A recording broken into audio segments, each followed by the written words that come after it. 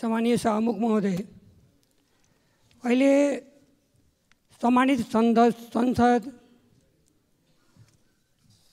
लडाइँको अखडा बनेको छ जहाँ जनताको न्यायको मन्दिर हो। जनताले संसदलाई राम्रोसित हेरिरहेको छ कि मेरो संसदले के गरिरहेको छ? निश्चित रूपमा यो बेला संसदले बढीभन्दा बढी ऐन बनाउने विधायकको तयारी गर्ने तर अहिले चाहिँ लडाइँ झगडामा नै बितिरहेको छ। यहाँ कुरा धेरै आयो दुई हजार सैँतालिस सालपछि छानबिनको कुरा। यो सब कुरा धेरै आयो। निश्चित रूपमा सामान्य सभामुख महोदय गणतन्त्र आएको पनि सत्र वर्ष हुन लाग्यो तर जनता निराश छ। जनताले अनुभूति गरेको छैन। किनकि हिजोको दिनमा जुन जनताले ढोल बजाएर लडेर आफ्नो जानको आहुति गरेर गणतन्त्र ल्यायो। त्यो जनता अहिले निराश छ।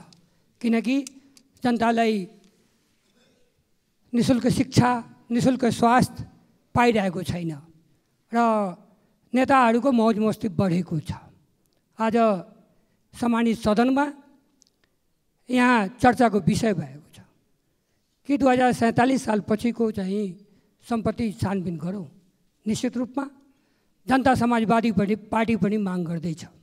कि हिजोको दिनमा यो देशमा दुई हजार छ्यालिस सालपछि बहुदल आयो र खाली खुट्टा आएका नेताहरूको घर घरमा चार चारवटा प्याजरो चार चारवटा ठुला बिल्डिङ काठमाडौँमा कहाँबाट आयो? निश्चित रूपमा छानबिन गर्नुपर्छ।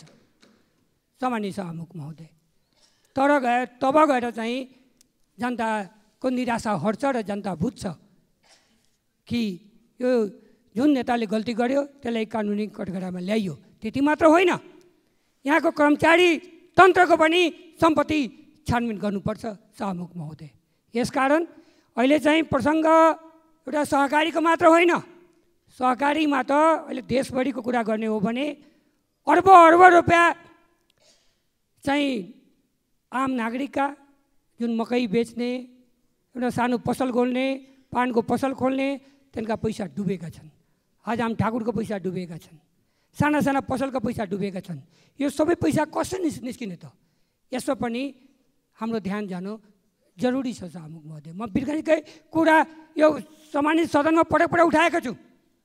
कि वीरगन्जका सानो पाइला सहकारीले अर्ब रुपैयाँ चाहिँ जनताको रुपियाँ ठगेको छ र ठगेर फरार भएको छ। त्यसकारण यो देशभरिको सहकारीको बारेमा पनि छानबिन गर्न ज़रूरी से महोदय